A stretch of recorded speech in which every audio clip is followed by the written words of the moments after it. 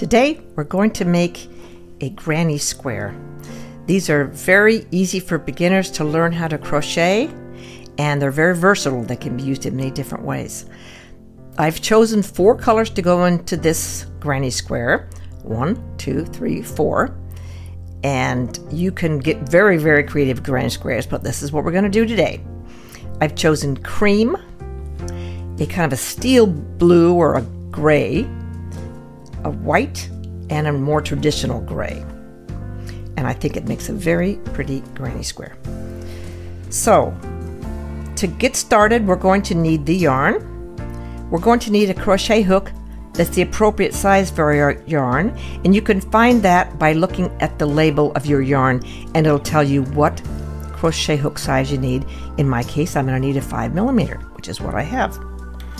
Then you're going to need a scissor of any kind, and you're going to need a tapestry needle. We use tapestry needles because they have very large eyes, and you have to be able to handle the yarn through that eye. So you need to get the appropriate size tapestry needle as well. Now, for experienced crocheters, the next few minutes are going to be just rehashing what you already know, so you can just skip on through. But for you beginners, these are very important things you should know. And one is how to hold the crochet hook properly. And there's two very effective, equally appropriate ways. And one is the knife method, which I pre prefer in particular. And you put that in your hand. Your palm of your hand kind of goes over the top of it. Your pointer finger is on the upper shaft. Your thumb is on the thumb rest. And your fingers coil around. And you just hold it like you would hold a knife when you're cutting meat. And then, an equally effective and appropriate way is the pencil method, which is self explanatory as well. You hold it like you normally hold a pencil, and that is with the hook laying on top of your hand, your pointer finger and your tall finger on either side of that shaft, and your thumb again on the thumb rest. And they'll be kind of resting on the rest of those fingers instead of having them coiled around there. And that's equally effective. I think it's just a little bit harder on the wrist and I do have arthritis, so I don't like to use that method. And this is the method I use, the knife method. So we need to start any granny square with a magic circle. And we do that because we have to start in the round and any other method used will leave a large gaping hole here in the circle and it's not as attractive for our granny square. We want a nice tight circle and the magic circle will give us that. So this is how the very, very easy way to do a magic circle. I've watched a million YouTube videos, so confusing. You're twisting and contorting your hand all around and this is just so much easier. Lay your tail end of your yarn over your open palm. loop that working end of the yarn around until you have a loop and pinch where that joins and you can slip that right off your hand. You're pinching the join, no problem. Then the rest of your yarn, the working end, is hanging down and it'll bisect that loop. You take your hook, slip it under that bisecting yarn, And now you're holding, you're pinching, still pinching the join, but you're pinching it on your hook. And you pick up that working end of the yarn, leaving the loop dangling. And now you're going to make a chain stitch. And for those of you who don't know chain stitch, it's very simple. You go down, you go back, you go up, and now you have captured yarn on your hook that's called a yarn over and you just pull it through the loop little loop on your hook. So you need to know how to hold your yarn as well to provide the proper tension. If you just left your yarn loose like this, you couldn't pick it up, you couldn't, it's just too loose and floppy. And likewise, if you hold it too tight, you just produce the tightest work and you can't get your hook into the prior row to make your stitches. So we need to learn how to hold it with just a tiny amount of tension. And this is how I do it. I have my palm up and I slip this yarn here through between my little finger and my ring finger. And that's just in slipped in there. And then I turn my hand over 180 degrees so you see the back of my hand now. And then I'll take the pointer finger and slip that under that yarn so that I have yarn over my pointer finger, under these two middle fingers, and again over my little finger. And now I just turn my hand perpendicular and I'm literally all set up to crochet. And as we crochet, we pinch this area here below the loop that's on the hook. We pinch that gently between our tallest finger and our thumb. And with our hands in this position, we can crochet really nicely. So for this granny square, we're going to do two more chains. Remember our chain? We went down, we went back, we went up, and that captures the yarn called yarn over, and we just pull it through the loop that's on our hook. And now I readjust my hand so that I'm pinching again at the top of the work I've got here, at the bottom of the loop on the hook. We want one more. We go down, we go back, we go up. That's called a yarn over. We pull it through.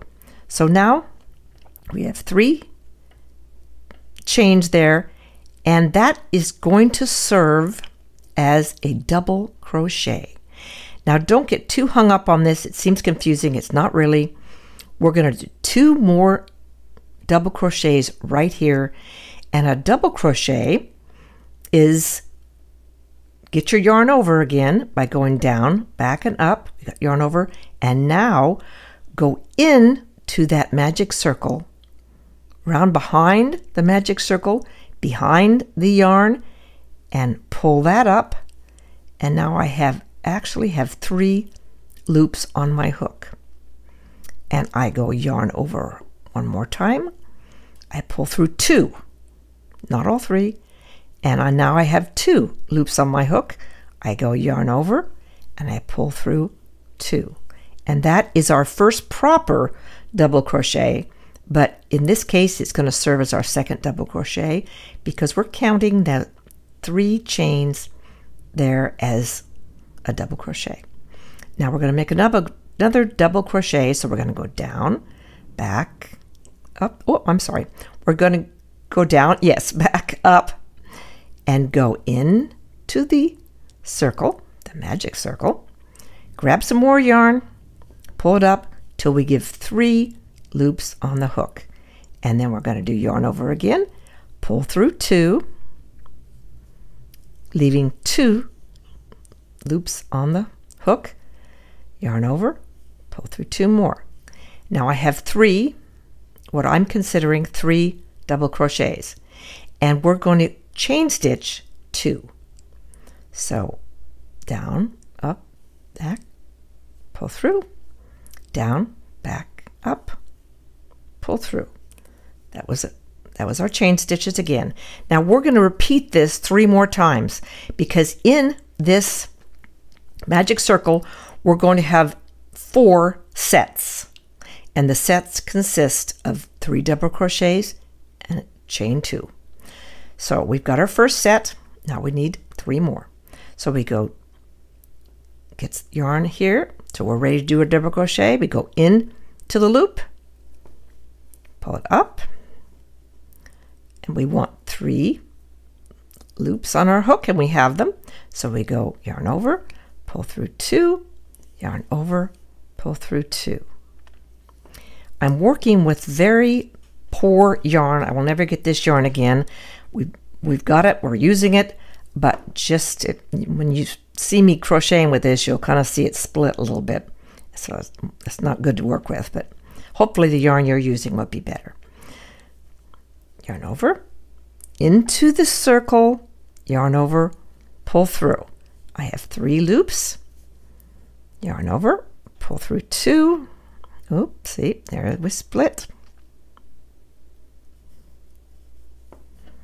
Yarn over, pull through two, yarn over, pull through two.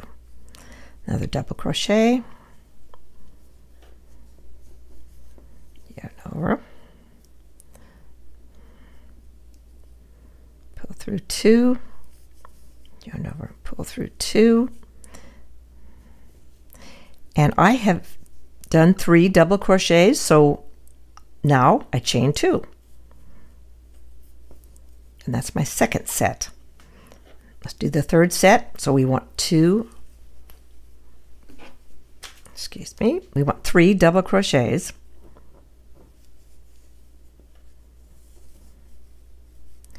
This first round is the most awkward round. You will not have this much trouble when you get to the second, third, and fourth rounds.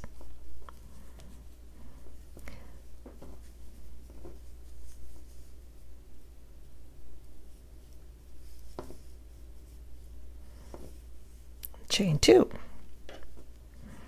It's another set. Now we're going to do our fourth set.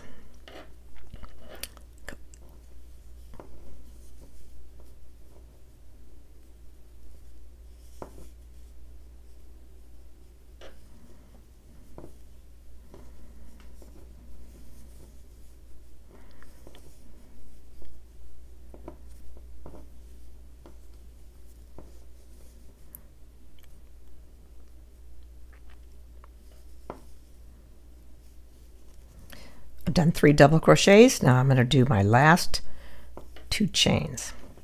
Now here's where the magic comes in for the magic circle. Take your little tail end, which we have been crocheting over this whole time, and you gently but firmly pull that taut. And look at this. We have a lovely, lovely little square. And we want to join that square, join this end up with the front of it. So we take the top of our chain three, we're going to do a slip stitch. We're just going to go into the top of our chain three, pull some yarn through there, and keep pulling, pulling it through the loop that's on our hook. And there we have, we've already completed the first round. So to tie this off, this is how you finish off. You go in the order of a chain stitch, but you're not going to complete it totally. You're just going to pull it through, just like that. Pull a big loop through. We're going to take our scissors, leaving a long tail, six inches or so. And now we can continue pulling through on that loop and pull that tight. And there we have the first round. So our second round, if I follow the example of my demo square here, will be the steel blue. And we need to join this onto our cream, cream colored round and we don't want to make a knot. So we just go into any corner. And if you'll notice, all those chain twos we did are the turned out to be the corners. We have the three double crochets and that chain two for a corner, three double crochets, chain two for a corner, three double crochets, chain two for a corner, three double crochets, and chain two for the corner. I would normally be weaving in my ends as I go along, and we'll talk about that later.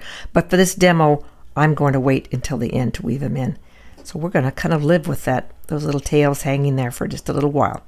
So take your crochet hook, stick it through any corner, right under the stitches. Don't go through any stitches, just go right under that chain two. And then I'm just going to pull in, leaving about a six inch tail Oop. pull that in there till it looks like this. And now we do a chain stitch. Pull it through and now it's fastened. It's very tight, fastened on to our work. And you can drop that tail now. We're only going to work with the one. And we're going to do two chains. One and two. And that's going to serve as one of our double crochets. And now in each corner, we're going to do three double crochets, two chains, and three double crochets. So this counts as one double crochet. So let's do two more.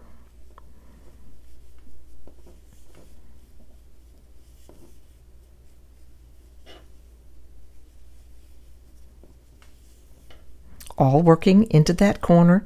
We don't go into a stitch per se, we just go into the under the chain two. So now we have our three double crochets and we're going to do two chains. That's going to form the corner for this round. And now we want to finish that corner off with three double crochets.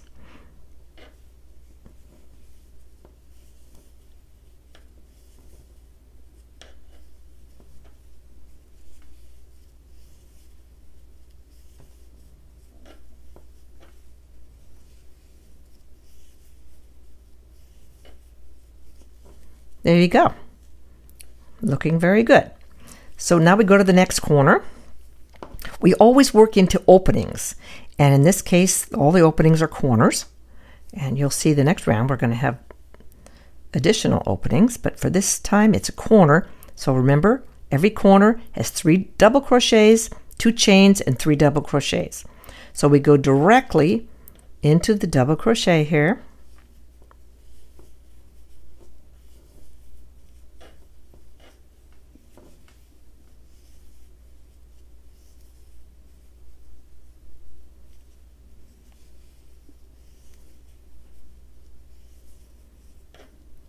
Chain two.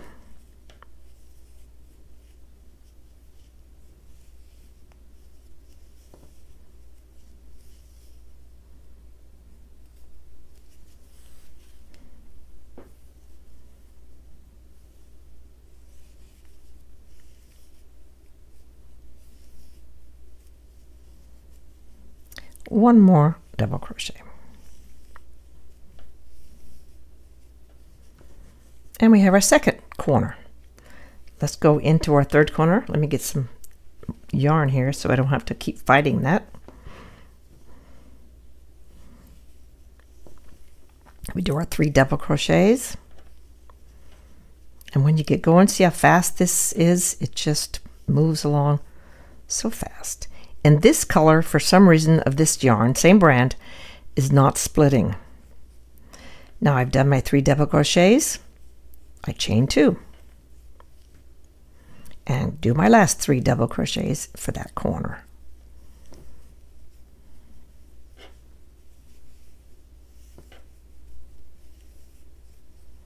And three.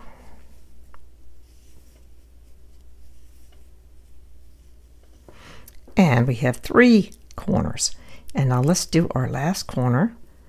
We do our three double crochets.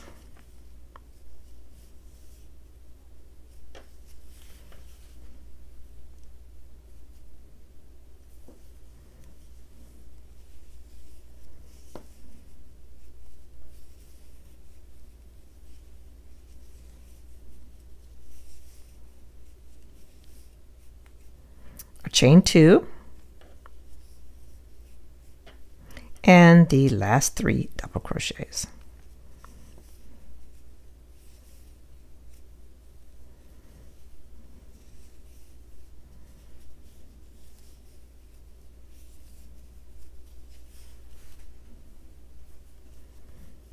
One more.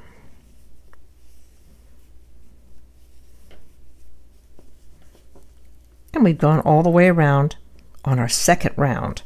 And now we need to join. So we find our original chains and we just go into the top one with a slip stitch. Just pull it through and continue pulling through to that loop that's on your hook. And now you've joined. So now you're going to start a chain stitch just pull it into a loop. Don't complete it. And leaving about six inches. You cut that off and you pull all the rest through and tighten that up. That makes a nice tight knot. Now you'll see what we've got here. We have got our corners, our four corners, openings there, but now we have got two additional openings. So our next round, we will be crocheting into each one of these openings, but on the side openings, those four additional openings we have, we will only do a three double crochet. We only do this three, chain two, three to make a corner. So the next color we've used is white. So if we want to keep this like our demo, we'll do white. And do you remember how we joined? We put our hook through a corner opening. And we just made sure we had a tail of at least six inches. And we pulled that through. And using both the tail and the working end we did a chain stitch one chain stitch. And now we can drop the tail and just work with one yarn so we're going to chain two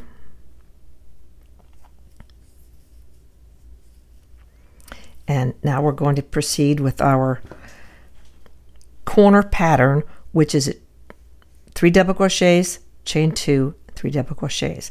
And I'm going to count this chain here as one double crochet.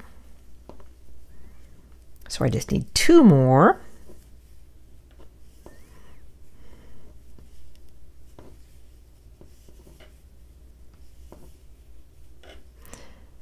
And now I have my three. So let's do two chains.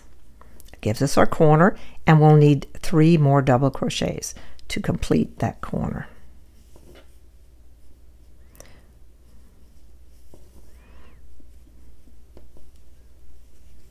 Wanted to split just a little bit, but it it didn't, so maybe this white will be good to work with as well.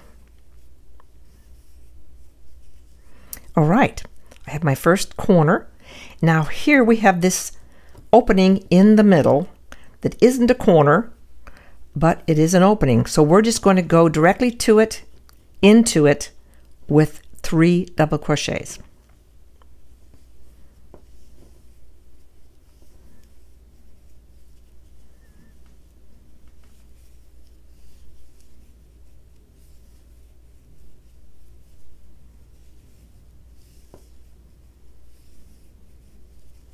And we finish that middle opening. Now we've come to another corner. So what's the pattern we use for the corner? Three double crochets, a chain two, and three double crochets.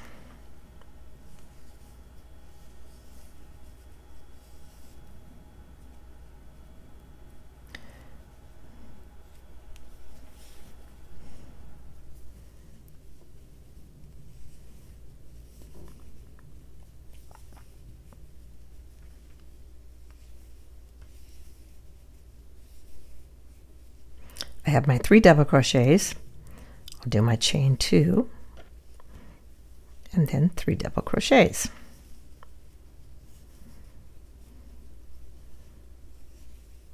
You see how quickly this works up. Granny squares are wonderful. They're a lot of fun and you can use them for a lot of things. So I finished that corner and I'm going to go, I've got another opening, but it is not a corner, so it is a three double crochet.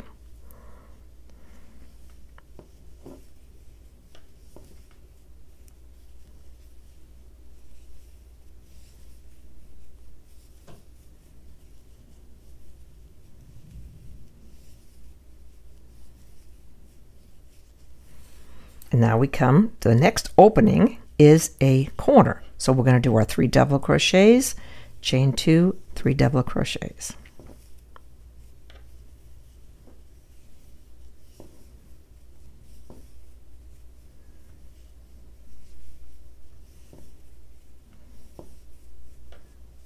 chain two.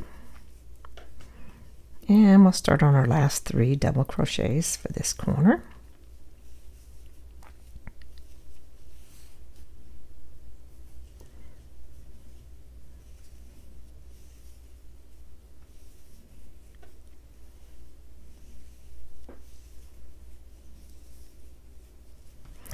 Our next opening is not a corner, so we're just going to do three double crochets.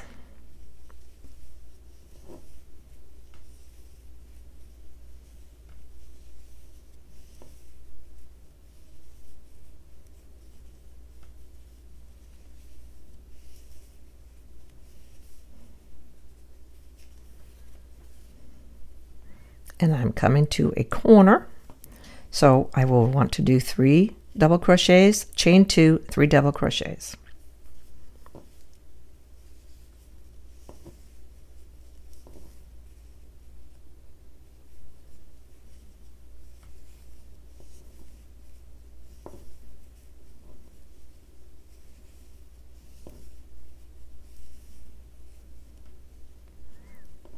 chain two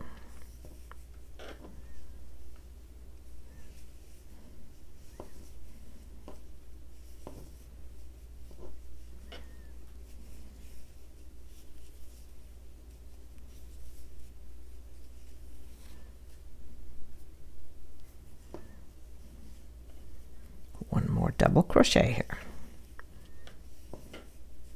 And we finish that corner. All I'm left with is one more opening and that is not a corner so it's only going to get a three double crochet.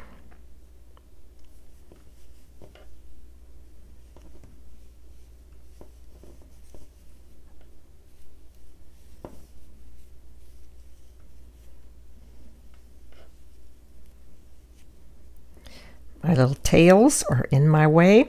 Like I said, if I was doing this just on my own, I would be weaving in those ends as I go. But I just don't want to make this video longer than it has to be. And so we finished. We don't have any other openings. So we are going to finish this like we did every other round. We're going to go into the top of that chain stitch area and we're just going to pull through to make a slip stitch and pull through the loop that's on our hook and that's finished. Now we're going to start a chain stitch, but we're going to just pull through and this is how we're finishing that off. We're going to leave at least six inches to weave in, cut that off and make our knot. And now we have three rounds of that. And look what we have now. We have our four corners. We'll always have our four corners. But on each side, we have two openings again. Two openings. Two openings. Because we're making this bigger and bigger. So the last color we're working with here is the gray. And remember how we started off with that? we just stuck our hook through any corner and leaving at least six inches for a tail, we pulled that loop through and then we made a chain stitch so that we could fasten securely in this. So that's fastened on. Our new color is part of our piece now. Drop that tail and only use the one fiber there. So we're going to do the two chains and they're going to serve as our double crochet. And since it's a corner, we make three double crochets, a chain two, and three double crochets. So let's do our second double crochet.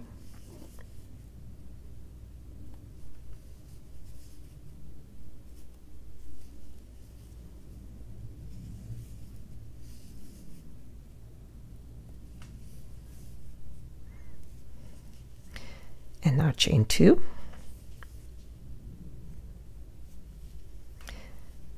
Our next three double crochets. Do we say double crochets or double crochet stitches? I don't know.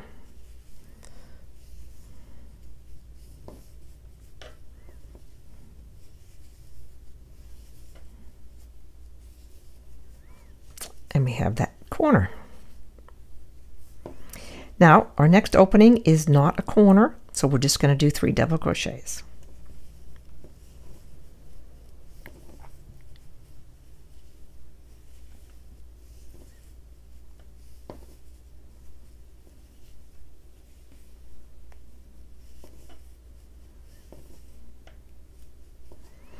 Go to our next opening, and that again is not a corner. So it is going to get three double crochets.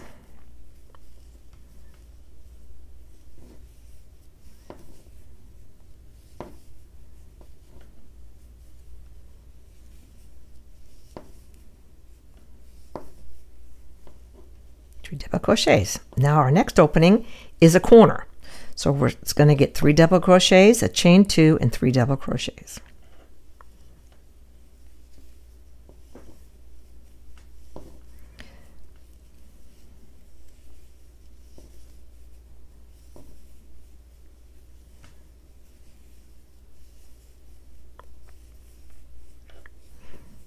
chain two and the last three double crochets for this corner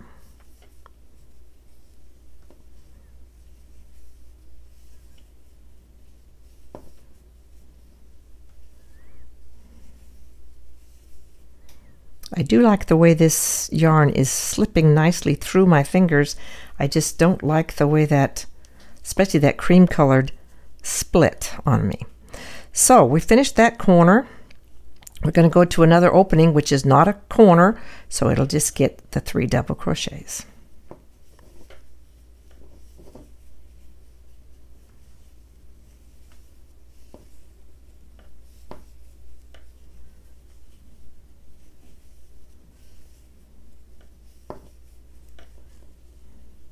And our next opening, again, is not a corner.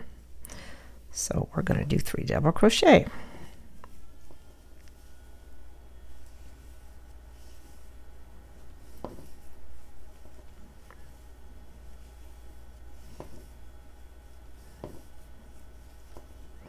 Our next opening is a corner. So again, three double crochets, chain two, three double crochets.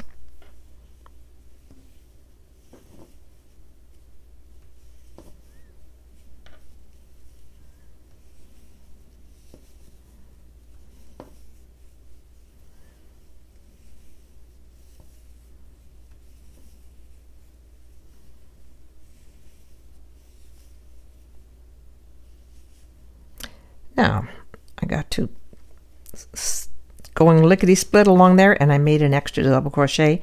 You see how easy that was to pull that out? And now I'm back to my three double crochets and I'm going to chain two. It just goes so fast you have to watch that you haven't just daydreamed your way into too many stitches. These are fabulous for sitting in front of the TV. You could talk, you can watch the TV show. You can get a lot done in the evening when you would just have been wasting your time. So that corner's done. The next opening is not a corner. So you guessed it, three double crochets.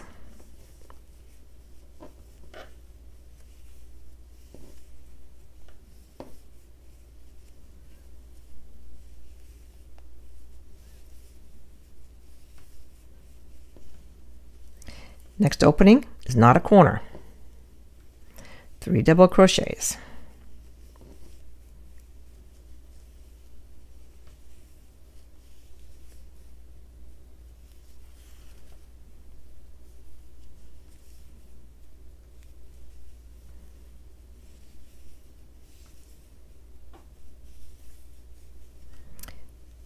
and then I come to the corner so I will do my corner clusters, which are three double crochets.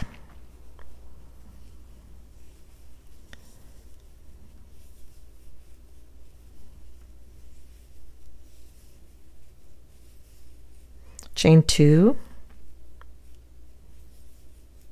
and three double crochets.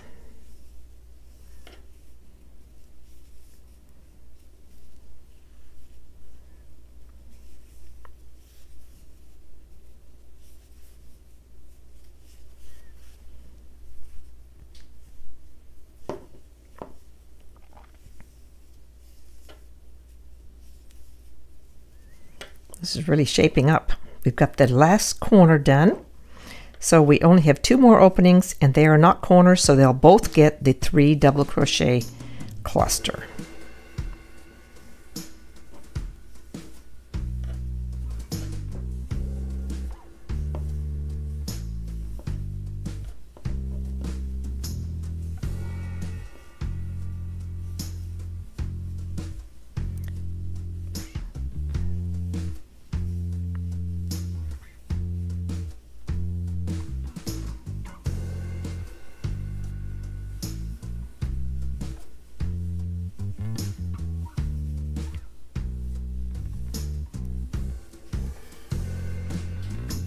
And we're done. We've got gone through every single opening in the previous row. So we're going to finish this like we did every other round and we're going to slip under the top of the chain stitch row and we're just going to slip stitch that through the loop that was on our hook and then we're going to start a chain stitch but we're going to pull it leave at least six inches. And we're going to pull through to make a knot. And we basically have got the same as the demo. You've completed your first granny square